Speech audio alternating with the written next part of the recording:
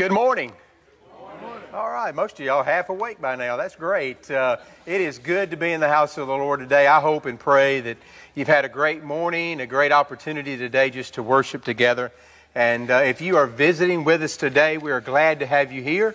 Uh, there's a number on the screen there that you can text the word welcome to. It's 662 222 5411. And that just gives us an opportunity to kind of know your name and just to say thank you for coming and uh, worshiping with us today. And if you don't want to do that, or uh, you don't have to, but there's a little visitor's card as well in the pew in front of you and in one of the offering plates on your way out today. If you drop that, fill it out and drop that little information card in there for us. Again, it just gives us an opportunity to say thank you for coming and worshiping with us today. I hope and pray that you receive a blessing uh, from being in the house of the Lord today. It's our it's our desire that we come together today as a church family, as friends, as neighbors, and that we worship our Lord and our Savior, Jesus Christ. I hope you picked up a bulletin as well on your way in. If you do, you uh, and did, you were able to see all the announcements and things that are related to our church and church family. Uh, one uh, that's not there, we're going to try to do work on start work on that second piece of playground equipment. We're going to try to do it in the afternoons uh, this week, weather permitting and everything else. So we're going to officially start at 6 o'clock. Uh, work for an hour, a couple of hours maybe in each evening there. Uh, if you can get here a little bit early, 5.30 or so, we may get started a little early depending on how many folks are here. But uh, just we'll, we'll play all that by ear. Just come out and join us, spend a little time with us, whatever time you can, and uh, try to get uh, some more things started. The first unit looks really, really good. We've got it bolted to the ground and everything else. And so get our second unit put together, and we'll be moving in that direction to actually officially open our playground uh, here, hopefully as soon as we can as well. Uh, one of the things for this coming Wednesday night, though, we want to make sure that uh, your child or children come to the Vacation Bible School. Uh, they're starting the Sacks of Love this Wednesday night as well. And so if your kid comes on Wednesday night for Bible school, we're asking you to bring one box of Jiffy Mix. And if you do that for this coming Wednesday night, uh, I know our kids had a great time, a lot of a lot of activity last Wednesday night. We kind of kicked everything off, and so want to encourage you to come Wednesday night. Bring your children. Uh, there's other opportunities here. Of course, our youth are here. Bible study, ladies' Bible study just started last week. And so if you want to drop your kids off and be a part of that ladies' Bible study, you can, as well as our normal Bible devotional time and prayer time on Wednesday nights here in our sanctuary as well. So you see other announcements, things that are related to our church, church family. Next Sunday night, we have an uh, Operation Christmas Child recipient that will be here sharing a testimony. And so make note of that. It'll start at 6 o'clock next Sunday night. Encourage all of you to come back and be a part of a, I think, what will be a very special, very learning time, but a very blessed time as well to be in the house of the Lord. And then you see our fifth Sunday. A lot of things happening on our fifth Sunday here uh, this month. And so come and join us.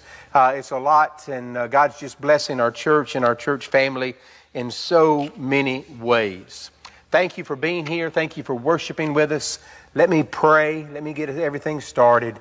And let's just worship together this morning. Bow with me for just a moment. Father, I want to say thank you for today. I say thank you for the blessings, Father. Thank you for the ways that you abundantly touch our lives over and over. And Father, today you have given us a privilege and an opportunity to worship together, to be in your house together, Father, just to be here and to be in your presence. And, and Father, I ask for your leadership, your guidance. Father, speak through me today as, as we share God's word together, Father, as we sing together. Father, lead Ken, lead our, uh, our choir, Father, lead us all as we just raise our voices to you and worship. Father, may today be a wonderful day to be in the house of the Lord. We thank you and we love you and we praise the name of Jesus. Amen.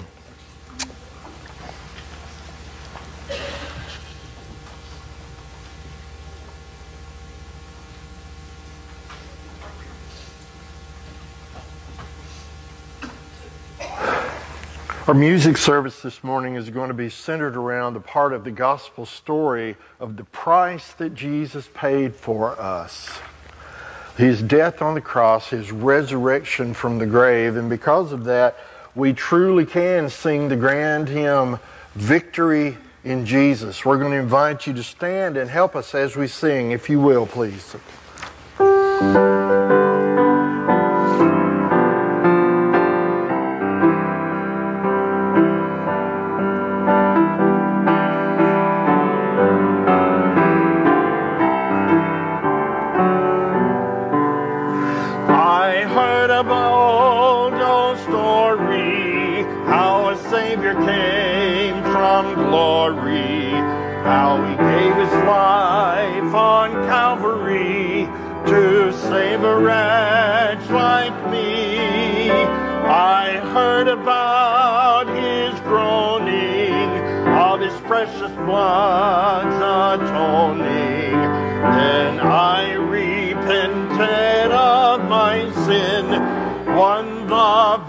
Victory. Oh, victory in Jesus, my Savior forever. He sought me and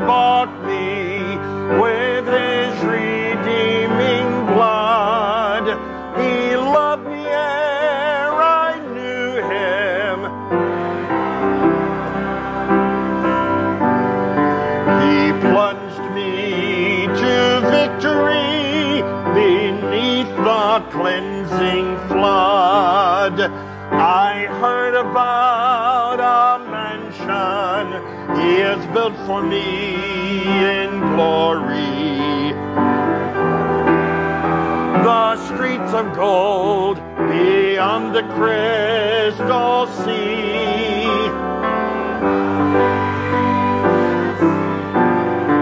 and the old redemption story. And some sweet day I'll sing up there the song of victory. Oh, victory in Jesus forever. He sought me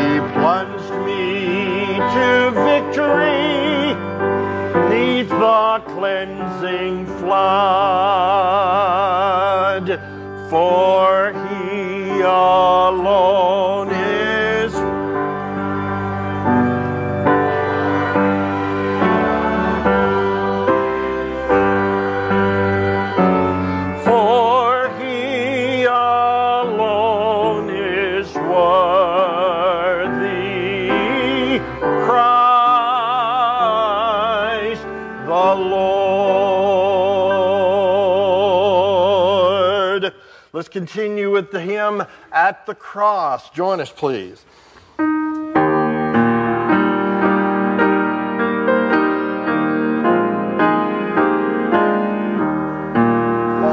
Alas, and did my Savior bleed, and did my sovereign die?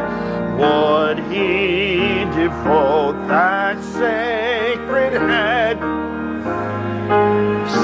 as I. At the cross, at the cross where I first saw the light, and the burden of my heart rolled away. It was there by faith I received my sight. I am happy all the day. Was it for crimes that I had done?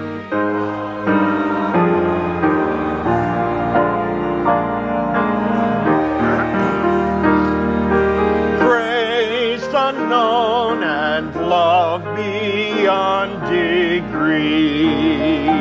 At the cross, at the cross where I first saw the light my heart rolled away.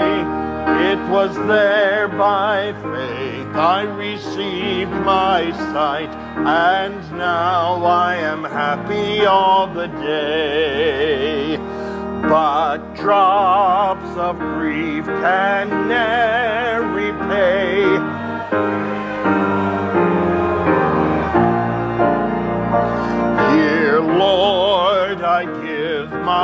Myself away, tis all can do. At the cross, at the cross where I first saw the light, and the burden of my heart rolled away. It was there by faith I received my sight. Now I am happy all the day. Congregation, you can be seated.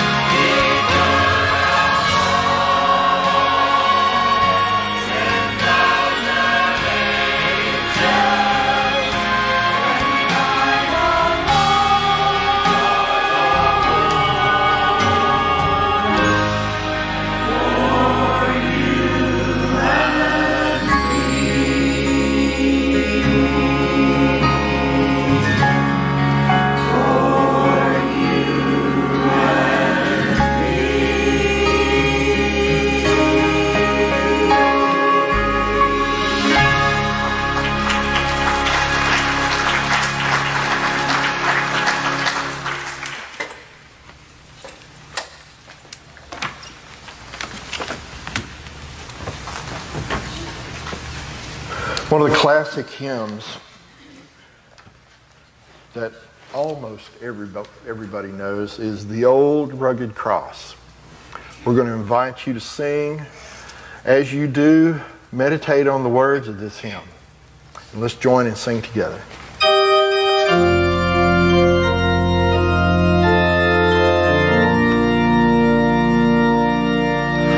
On a hill far away old rugged cross, the emblem of suffering and shame.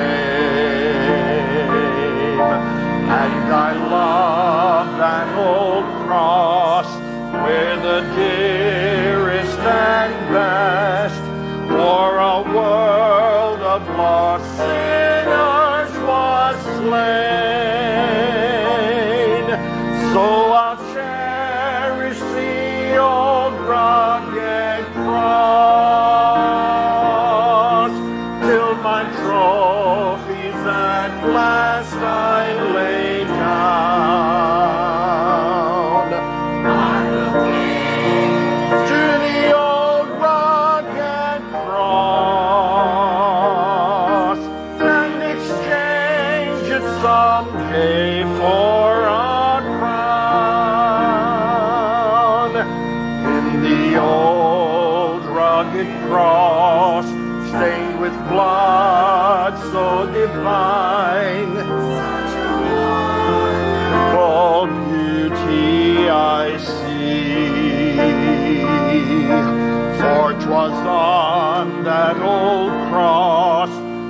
Jesus suffered and died to pardon and sanctify me. So I'll cherish the old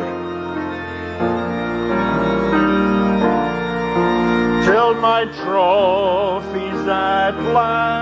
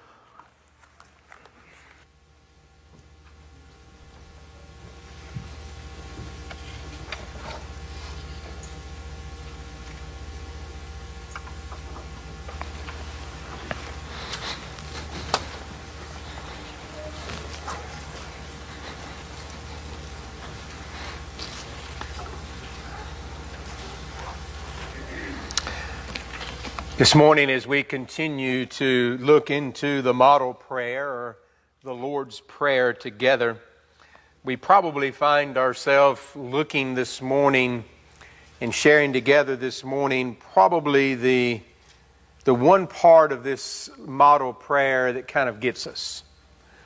Uh, the one part of this model prayer that we say is, you know, we, we like the first part of this next verse, but man, it's that the second part of the verse that uh, that really kind of throws us for a loop sometimes. It's that, you know, it's kind of that way a lot of times in God's Word. You know, we see things that we really, oh man, amen to that. And then we see something else over here and it's oh me to that, you know. Uh, it just kind of gets us in, in at home and And this morning in Matthew chapter 6, verse 12, it says, And forgive us our debts. We like that part. As we forgive our debtors. And that's not always so easy. To forgive us our debts and to forgive those who sin against us. Many years through, uh, you know, being a pastor now, I've discovered that probably the biggest problem that people have is unforgiveness. Whether it be that they are struggling with the fact that someone won't forgive them for something that's happened, or they're struggling with the fact that they can't forgive somebody else for something that's happened. And I think sometimes we as Christians we, we see how important being forgiven is. But sometimes we forget the idea that to forgive others is just as important. That we need to have a heart of forgiveness as well. Here, Jesus teaches us not only to pray that we forgive our debts, but to forgive our debtors. Now, I know it's not in the model prayer itself, but if you've got your Bible open there to Matthew chapter 6, look down for just a moment, verses 14 and 15. It says, For if we forgive men their trespasses, your heavenly Father will also forgive you. Here's the catch. But if ye forgive not men their trespasses, neither will your Father forgive you your trespasses. Forgiveness is important. Both directions. And so this morning, I want to look at some truths related to this wonderful concept called forgiveness. But pray with me as we start. Father, today is, is your day. And Father, it's an opportunity that we have today to be in your presence, and opportunity, Father, that we have today to worship you, and opportunity, Father, that we have today to allow your Holy Spirit to, to speak to our hearts, to, Father, maybe show us what we need to do, how we need to forgive ourselves, how we need to forgive someone else. Father, maybe even today to show us that we need to accept your forgiveness and allow you to be the Lord and Savior of our life. But Father, I pray that today, as we spend these moments together, Father, I pray that you may speak through me and speak to those that are here, Father, by the power of your Spirit, so that when we leave today, the idea of forgiveness is something we understand. But Father, I pray that we don't only understand it, I pray that today forgiveness may be something that we're willing to do. And so, Father, take these next few moments. Speak through me again, I pray. And Father, beyond anything else, may your will be done. In Jesus' name I pray. Amen. Some of these important truths related to forgiveness. The first one is this forgiveness is required. It's not an option, ladies and gentlemen. Forgiveness is a requirement that has to take place. It has to take place in our life, first of all, if we're going to have eternal life. Sin in our lives causes an eternal separation between ourselves and God. When Adam and Eve were in the Garden of Eden, they had a very special relationship with God. But as soon as sin entered into that, uh, entered into the garden because of Adam and Eve and their, their disobedience of God, they, com- they, they were completely separated from God in that sense. God evicted them from the Garden of Eden. Isaiah tells us in 59, chapter 59, verse 2, but your iniquities are separating you from your God. Now that's real simple there, ladies and gentlemen. If you want to have a better relationship with God, we must be forgiven of our sin. The only way that we can be forgiven of our sin is to ask God to forgive us. Ultimately, it needs to happen every day in our life. But ultimately, it must happen for the first time as we ask Jesus Christ to come into our life, as we ask Jesus Christ to save us from our sins. When He died on the cross, Jesus paid the ultimate price so that you and I can be forgiven. It was all about forgiveness, God's love for us, so that we could be forgiven, so that we could be cleansed, so that we could stand again in the presence of the Creator of the universe and have a wonderful relationship, an eternal relationship with Him. And when we trust, Jesus Christ as our Lord and our Savior, we receive that ultimate forgiveness. Paul writes to the Colossian church in chapter 2 And when you were dead in trespasses and in the uncircumcision of your flesh, he made you alive with him and forgave all of your trespasses. He erased the certificate of debt. Oh man, how you like that? How many of you here today would love if the bank would call you up tomorrow and say, Listen, I need you to come down here at 9 o'clock in the morning. We're going to take the mortgage that we have on your home and we're going to strike a match and we're going to light it. We're going to burn it up. Your mortgage has been paid. I would like that. Some of you may have a house paid for, praise the Lord, but I would like that. Okay? Whatever it may be a debt that needs to be paid, and it was paid by the blood of Jesus Christ. He erased, he says, that certificate of debt with its obligations. Man, it's not just that they not just that they burn up a piece of paper, but the obligations are gone. It's not that just that, that Jesus died on the cross to forgive us of our sins, but the obligation and the payment of debt on those sins were also erased. Man, it was a once and for all. It covered everything. It was one of those 100% guarantee kind of warranties, and not the one you get when you buy something for $19.99 on TV. I'm telling you. That lifetime warranty that you get from that stuff, I don't know whose lifetime it is, but it's not yours, okay? But the warranty that we got from Christ, the eternal life that we received, when Jesus Christ died on the cross for all of our sins, man, it covers it all. That forgiveness is required of us. Paul says in Ephesians chapter 1 verse 7, in him we have redemption through his blood. Understand that forgiveness is required, ladies and gentlemen, but please, please never forget that forgiveness has a price. A cost was paid. And it's not a cost that somebody walked up to a bank and took some money out of their back pocket and said, Here, I'm going to pay this a little bit of money and my, it's been paid. It doesn't work that way.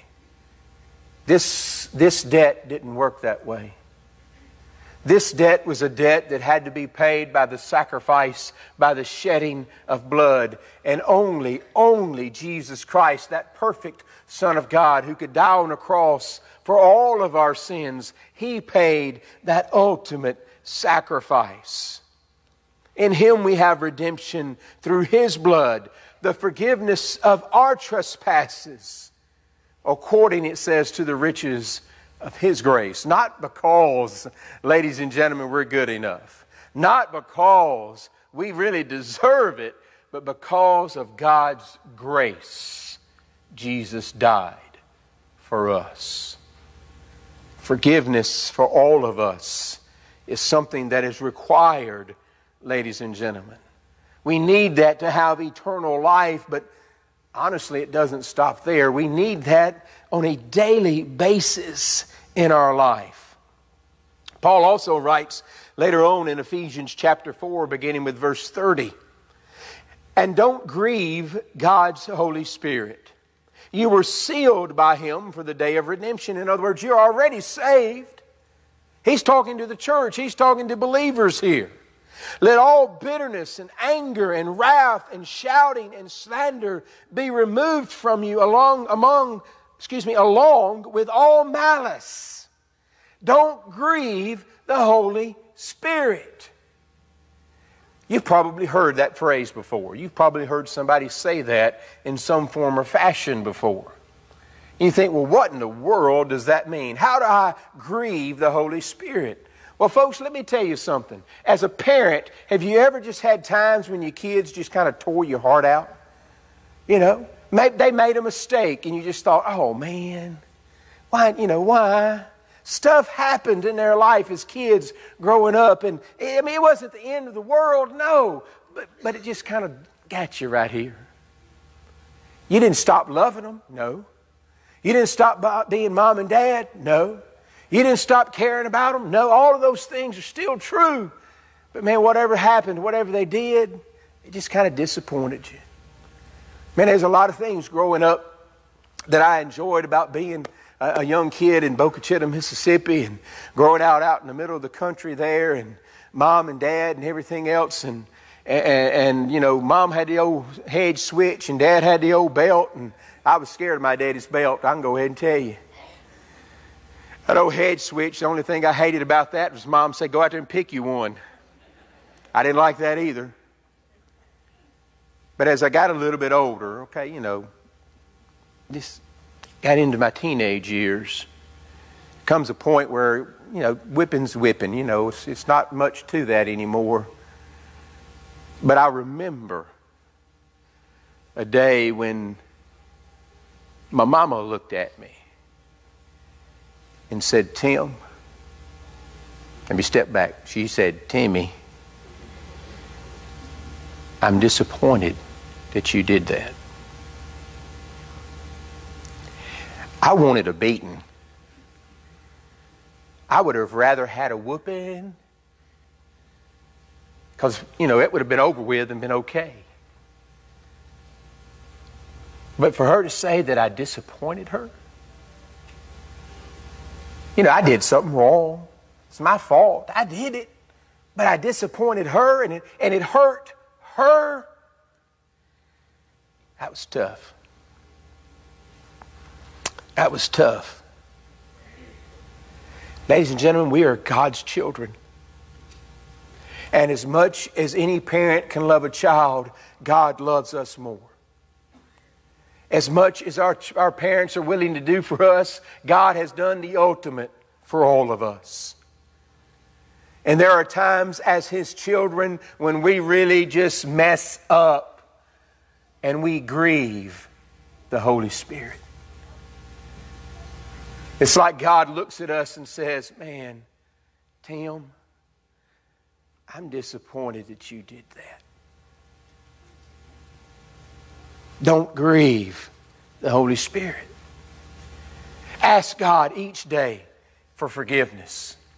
Struggle each day, but keep going each day.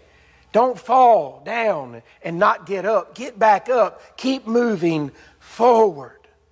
This forgiveness is required of our, for us for our salvation. It's, it's required of us after our salvation. And ladies and gentlemen, remember, it is required that you and I also forgive others. In Matthew chapter 18, verses 21 and 22, then Peter approached him and asked, Lord, how many times must I forgive my brother or sister who sins against me? As many as seven times? He liked that idea of seven because that was really more than the Jewish law allowed, but he was bewildered and I dare say mind blown when Jesus says, I tell you, not as many as seven, but 70 times seven. How many times has God forgiven us? I mean, think about that one for just a moment. How many times in the last week has God forgiven you for something? I hope you've asked Him to. If not, you need to because you messed up the last week. I promise you. And as much as He has forgiven us, You and I, ladies and gentlemen, have a responsibility to just forgive others. Doesn't mean the pain goes away. Doesn't mean that they did something that wasn't bad. It doesn't mean that we have to, you know, everything goes back to normal. But it does mean that forgiveness needs to be a part of who we are and that that forgiveness is required by God. Not by me. okay? Not by the church, even per se forgiveness is required by God. Not only is forgiveness required, I want you to understand this morning that forgiveness can also be requested.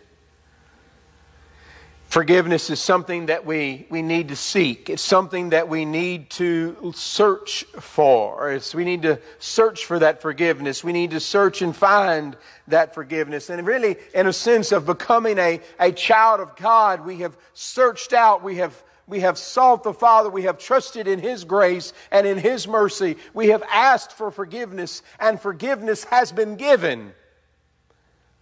Ephesians chapter 2, 8 and 9 says, For you are saved by grace through faith. It's not of yourselves, it is God's gift. It's not something that we do. We can't save ourselves. But forgiveness needs to be requested. Not from works, it says, so that no one should boast. Forgiveness of sin is to be requested as we search for a relationship with God. Let me tell you this. You may say that you are a child of God. I ask you this when was the moment in time when you asked Jesus Christ to save you? There has to be a moment in time. There has to be a moment in time when you said, Father, I'm lost. Save me. Father, I realize I can't do this without you. Save me. There has to be a moment in time. You're not, you're not saved by osmosis. You're not saved because you just come to church and you've been here since you were a child and you all of a sudden decided to walk down an aisle. You're not saved because you got wet in a baptistry. There has to be a moment when forgiveness is requested. A moment in time when you realize, I'm lost. I need Jesus. Jesus, save me. He does the saving, folks, okay? He draws us to Him. I do believe that. The power of the Holy Spirit is there to convict us of our sins. He's not going to force you, He's not going to twist your arm. There must be a moment when you request salvation. Psalms 32 5 says, Then I acknowledged my sin to you and did not conceal my iniquity. I acknowledged my sin. I did not conceal my sin, I said. I will confess my transgressions to the Lord, and you forgave the guilt of my sin. Wow. That's forgiveness. Man, that's what God desires to do to each and every one of us. We know it more probably from a New Testament verse, 1 John 1 9. If we confess our sin, He is faithful and righteous to forgive us our sins and to cleanse us from all unrighteousness. But That verse starts by saying, if we confess our sins. This forgiveness is requested, ladies and gentlemen. Man, I tell you, it's hard to say I'm sorry. It really is. We struggle with that. We struggle with that on a daily basis. Somebody that maybe right now, somebody you know that you've hurt their feelings, you've never said, I'm sorry. And it's bothering you. And it's bothering them. And it's maybe a fractured relationship or a fractured moment, whatever it may be. But this idea of saying, I'm sorry, is tough for us. But the sad thing about it is this if we're so scared to say, I'm sorry to other individuals, we better make sure we can say, I'm sorry to the Lord. You may leave this world and not have, not have, uh, have fixed a relationship because somebody wasn't willing to say, I'm sorry. But if you leave this world and you haven't asked, said to God, I'm sorry, you're in trouble.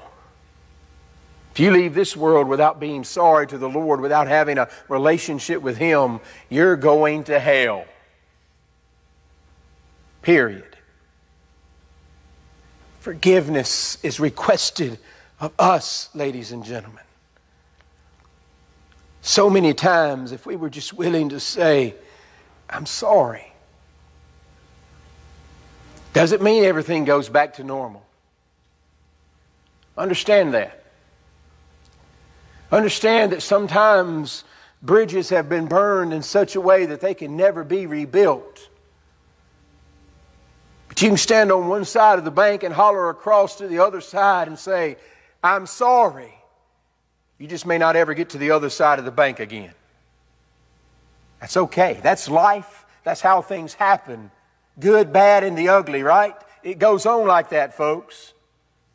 It's not necessarily our responsibility to put every relationship, every situation back to together the way it was, but forgiveness is part of what we are supposed to do. Because when we don't forgive, does it affect them? Sure, maybe, but I promise you, unforgiveness in your heart and in your life will tear you apart. And God never planned that. God never wanted that.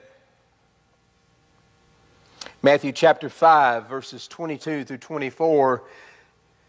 Jesus here, of course, he's saying these words again a little bit earlier in this Sermon on the Mount. He says, But I tell you, Everyone who is angry with his brother or sister will be subject to judgment. Whoever insults his brother or sister will be subject to the court. Whoever says, You fool, will be subject to hellfire. Hmm.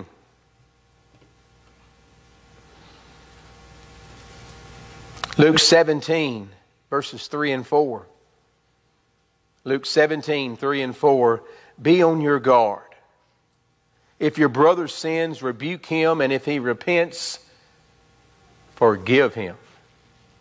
If he sins against you seven times in a day and comes back to you seven times saying, I repent. Now, let's be honest. If something like that happened to us, we'd be out that fourth or fifth time, we'd be thinking, yeah, right. You know, you, you just messing with me now. But God's Word says, that if he comes back to you seven times saying, I repent, you must forgive him. Folks, forgiveness is as much about cooling and taking care of our heart as it is the person who's asking for forgiveness, as it is the person who have hurt us and messed us over and all of those things. Forgiveness is also for us. It's required, it's requested.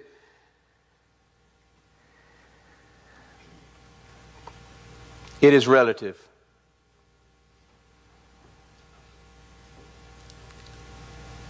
When we come to the Lord and ask for forgiveness, and as a Christian, I hope and pray that that's something we do every day. We need to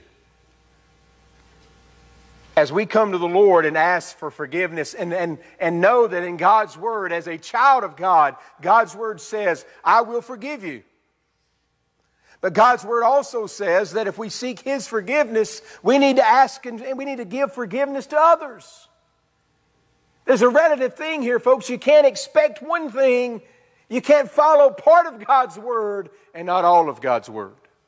You can't expect God's forgiveness and not be willing to give forgiveness. Don't be bitter. Hebrews chapter 12, verse 15 says, Make sure that no one falls short of the grace of God and that no root of bitterness springs up, causing trouble and defiling many. Causing trouble and defiling many. That's happening to the person who's refusing to forgive. Listen, there are times in our life when I think we need to forgive other folks even if they don't ask for it. There are times in our life when we need to be willing to forgive, even if we can't see that person and talk to that person. It needs to be a part of our heart. It needs to be a part of our mind. It needs to be a part of who we are as a child of God. That, hey, I'm going to turn this loose. I'm going to forgive this person. I'm going to put this stuff behind me. I'm not going to worry about it anymore. I'm going to forgive because God forgave me. Don't let this stuff eat you alive. I've seen it too many times in families where something, from an outsider looking in, something that was not that big of a deal has happened. And man, on the inside of the family, it was, it was the worst thing since, you know, it was the worst thing ever, and it tears a family apart.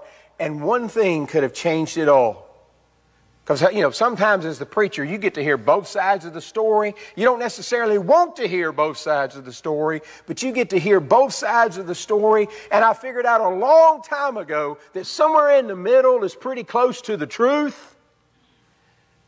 And ultimately, in a situation, if somebody would have just said, you know what, I'm sorry, I apologize, I wish this had never happened, please forgive me, those few words right there would have healed everything. But you know, we can be hard headed, right? We can be stubborn as, as followers of Christ. We can think that we're right and the other person's wrong, and there's no way in the world we're going to say, I'm sorry. Why do I need to say I'm sorry? They need to say they're sorry. It's their fault, not my fault. If that's the attitude of our heart, it's all of our faults.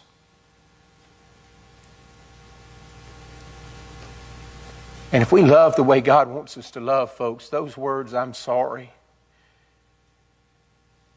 If we expect God to forgive us the way that He does every day when we say, God, forgive me, man, if, if we just want that and expect that, just say that. Man, I'm sorry. May not change again the situation, but if it changes your heart, if it puts you where you need to be with God instead of bitter and holding a grudge and all this other stuff, don't do that. That's not what God intended. That's not what Christ was saying when he says that you know, forgive our debts and forgive our debtors. Jesus knew that we needed to be forgiven, but he also knew that if we were willing to forgive, man, life would be so much better. We wouldn't be caught up in some of this other stuff. So forgiveness is required. It is requested, and that is relative to the situation, I guess you'd say, but forgiveness is also repeated.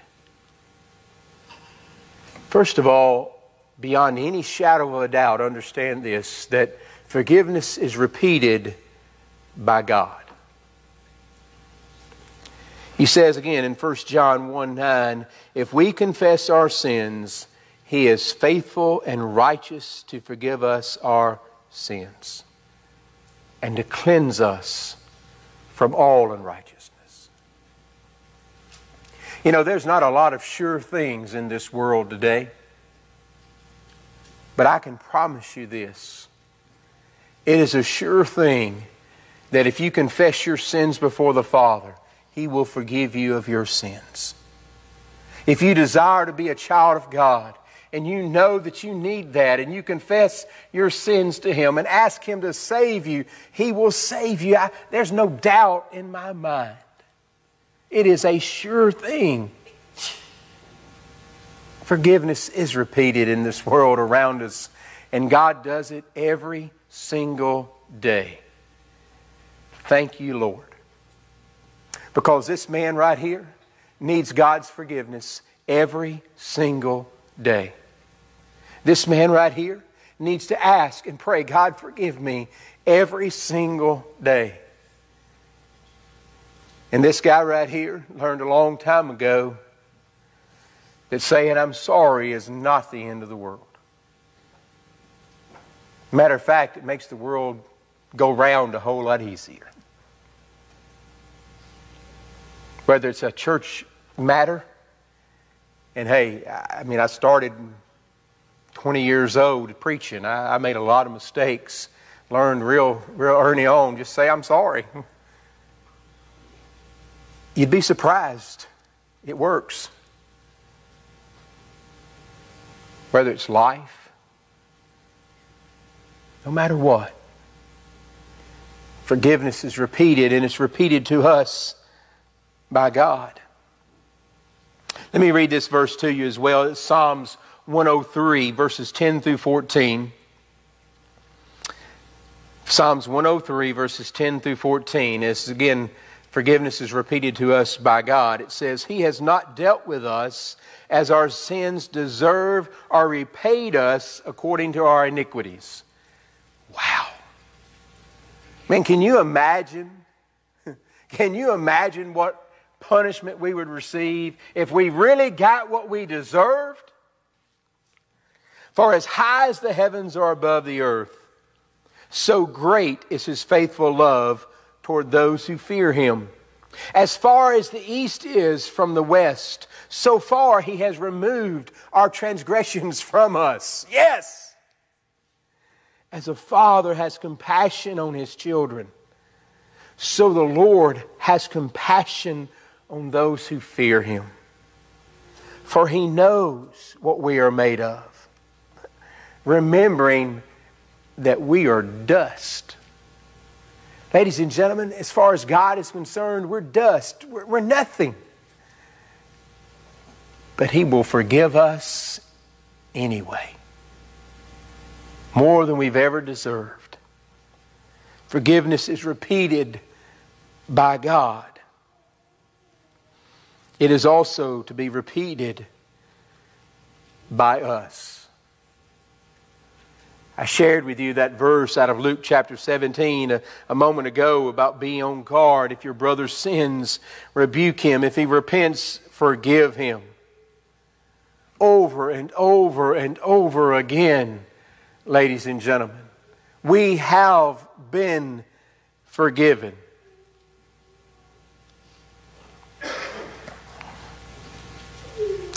We've got three grand boys now. The youngest isn't big enough to do anything, so we can't really talk about him yet.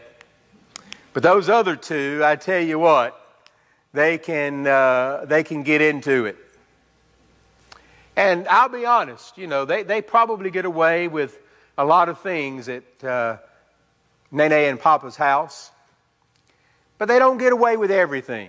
Okay, I'm still a little bit too much old school, I guess. And so I had to get on to them one day. And it's amazing when you think about that. I mean, you know, a small child doesn't take a whole lot. I mean, you know, understand that. And uh, but then they come back and they say, "Papa, I'm sorry." And you hear, and your heart just goes, "Oh." You know, whether it's your child or grandchild or friend, those words need to be repeated by us. First of all, to our Heavenly Father God, I'm sorry. I'm sorry that I, I messed up this morning. I'm sorry I got in a fight with my wife. I'm sorry I messed up at school. I'm sorry, whatever it may be. God, I'm sorry. And then it may be, I'm sorry to the person at work, or I'm sorry to my spouse, or I'm sorry to the teacher at school. Whatever it may be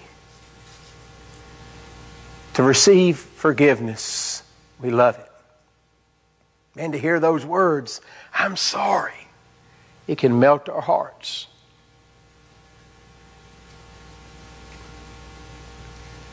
I think it melts the hearts of God, the heart of God, as we say, God, I'm sorry. That's what He wants to hear. He wants us to have that relationship with Him. This forgiveness needs to be repeated by us. Maybe it means we stop bringing stuff up. Maybe it means we don't talk about others. We, you know, whatever it means.